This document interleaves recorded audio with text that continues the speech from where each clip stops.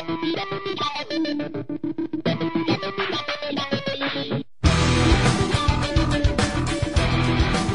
welcome to the Movie Blog. My name is John Campea, and this is my quick three minute review of the new Pixar film Ratatouille. The first thing I should say is this if Pixar as a movie studio has any weaknesses, it's that they have no idea how to make a bad movie. You could walk into these guys and say, look, here's $100 million, make a poor movie, and they'd still end up making a movie that was ended up being like a 7 out of 10. Not only is Pixar the best animation studio in the world right now, they are probably the best movie studio, period. They have consistently, I believe they're like 8 for 8 now in making wonderful films. Ratatouille, an argument could be made that Ratatouille is the best film they've ever made. Now, of course, I'm not nothing to take away from The Incredibles or from Toy Story 2 or from Finding Nemo. I'm just saying an argument could be made that Ratatouille is the best film they've ever done.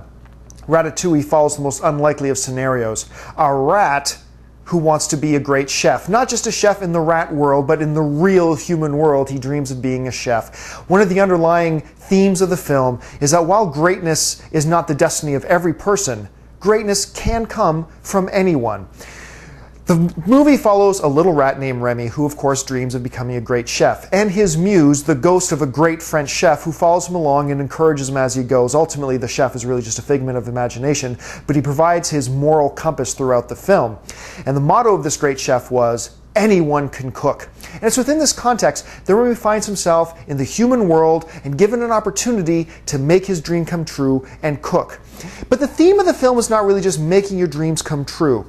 The theme that runs throughout the movie really is challenging the status quo. That just because certain things are the way they are doesn't mean that that's the way they always need to be. And Remy, several times throughout this film, comes head to head, not only in dealing with cooking, but also in dealing with his own family.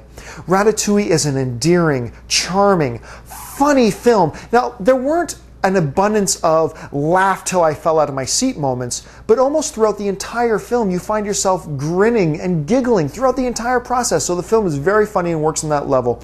The moral of the story is very good. You find yourself very attached to the characters, not just Remy the rat, but also Linguini, the human character, and a couple of the other characters as well. From start to finish, this movie works on every single level this movie works. And to be quite honest with you, while it's not the best film ever made, I can't think of a single glaring weakness in Ratatouille.